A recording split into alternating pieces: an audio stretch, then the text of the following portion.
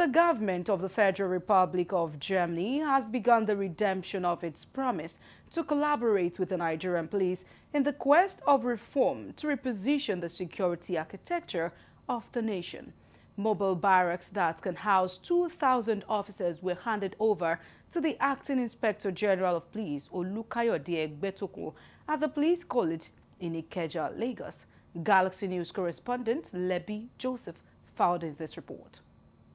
Speaking at the handing over ceremony, the acting inspector general of police, Olukayode Egbetokun, said the Nigerian police force is currently poised for reformation and well-being of its officers is key to the repositioning scheme of the country's number one internal security outfit. This donation is coming at a time that the force is setting up a special intervention squad.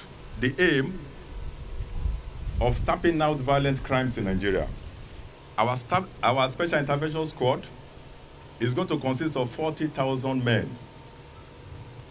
And we intend to deploy at least 1,000 to each of the states in the Federation. IGP Egbetokun revealed that the Nigerian police is currently training 40,000 officers and the mobile barracks shall be handy for their use and conveniences. He said the sole objective of his administration is to have a peaceful society anywhere, anytime in the country.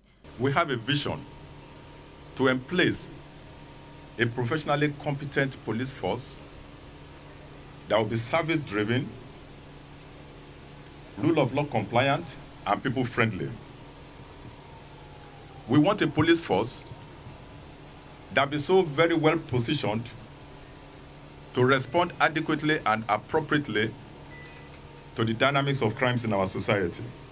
The Deputy Ambassador of the Republic of Germany to Nigeria, His Excellency Johann Idlen, said Germany is resolved to collaborate with Nigeria in the area of security.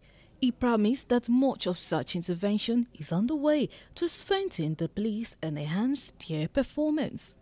UNDP, with their overall approach for the improvement of security, peace, and the rule of law in Nigeria, and of course, the Nigerian police force, who is the key anchor for the improvement of the security situation in the country and for uh, the progress of the Nigerian people, especially in the fields of security and rule of law. Also, a retired inspector of police from Germany, Martha Sieger, said training and retraining of key officers in the Nigerian police is part of the intervention from the government of Germany.